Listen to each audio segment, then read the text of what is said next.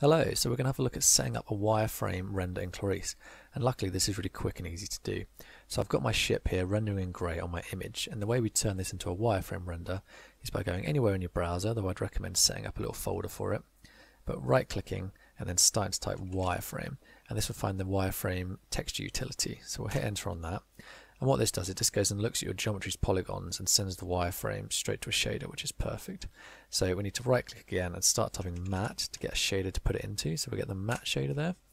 And the matte shader is great because it doesn't get affected by lighting, which makes it really quick. And it's also what we want for a wireframe render. So we can press F2 on that. And I'm going to type wireframe underscore matte.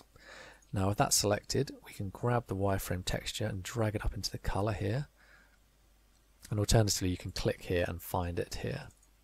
So now we've got the shader set up, we need to apply it to every object in the image. So the quickest way to do that is to come to your image, navigate to the 3D layer, and then come to your override material, and we can find our wireframe, and there we go. Now every object in the render has got the same shader.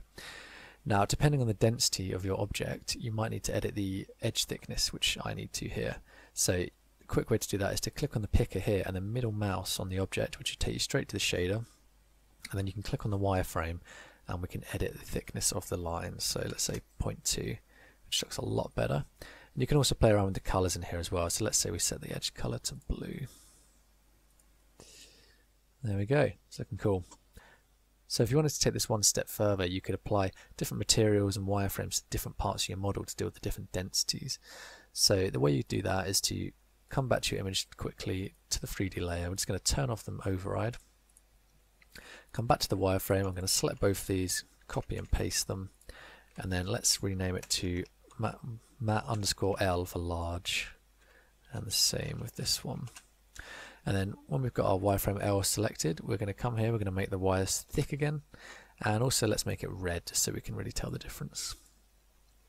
So now if we hit play, we can just start dragging our mats onto our object, which is really cool.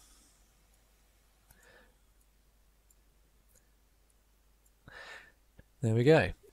Now another way of dealing with this would be to use shading layers and then you could use rules to target different parts of your geometry with different wireframes and that would save you having to manually drag onto every single piece of geometry you've got. But yeah, I hope that was helpful for you.